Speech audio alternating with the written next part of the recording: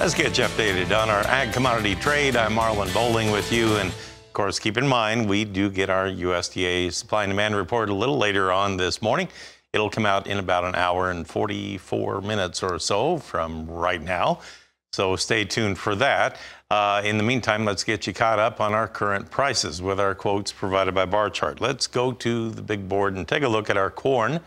And right now on the May corn, we are a penny higher on the May and that's it.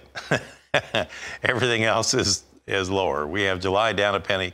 You have December corn down two and a half at 560 and a quarter, almost on the low of the day, I might add. Just one tick from it. Now on soybeans, they went rocketing higher this morning out of the gate, and now you have May soybeans still up by 16 and a half cents. We're at 1503 and three quarters, but it has backed off about four cents from last time we checked. Now we have July soybeans 15 and a quarter higher and November up a dime at 13 now uh, 13 and 20 cents. So let's go with 13.20 even. That would be 10 and a quarter cents higher. So that spread between the May and the November is widening out by about 7 cents here so far today. Now as we move on to wheat, in Chicago first, we have May now two and a half lower at 676. That's about two cents from our low of the day. And you have that July uh, new crop contract now three and a quarter cents lower this morning.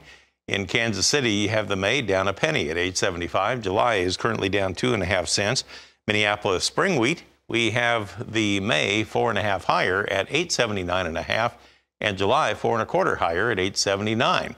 So that has made an abrupt turnaround, and now we're a dime off of our earlier low. So the spring wheat all of a sudden found some traction. Now let's look at cotton. And on the cotton market, we'll go with July. That is 30 points higher right now at 83.03. And December new crop is now 34 points higher. We're at 82.97 per pound. Got as high as 83.08. Uh, couldn't quite hang on to that 83 cent mark. Well, let's go to the phone and welcome Mr. Ben Hushon of the mill in Whitehall, Maryland. He joins us right now for an update on uh, conditions in that part of the country there.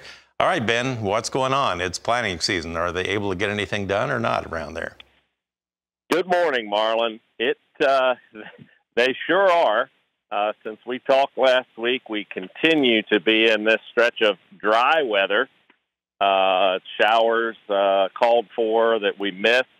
Uh, warm temperatures. We had frost two mornings in a row, but uh, temperature just continues to climb. Soil temperature clearly in the low to maybe even mid 50s, depending on uh, um, what time of day you're taking it and whether it's worked ground, cover crop, and all that. So soybean planters started to roll a little bit last week, a whole lot more this week, and uh, some corn starting to go in the ground. So it's it's really been something because we've pretty much gone three weeks uh, without rain in this geography. And logistically, I've always said if we don't get rain once a week, fertilizer suppliers can't keep up.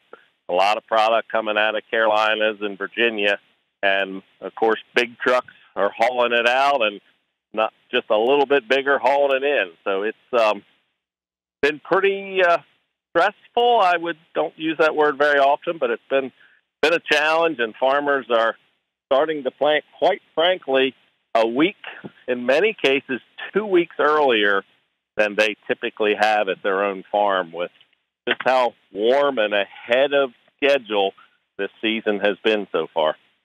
The good point of that conversation is that they have the fertilizer to put on this year, and it looks like availability is uh, probably not going to be an issue. Ben, thanks for the update. Interesting to hear that they're planting soybeans first this year in that area. Seems to be a growing trend. Uh, thanks for the update. I'll check in again next week, too. Ben Hushon of the Mill in Whitehall, Maryland with us. We'll come back in a moment. We'll get you updated on the latest in our livestock trade after this.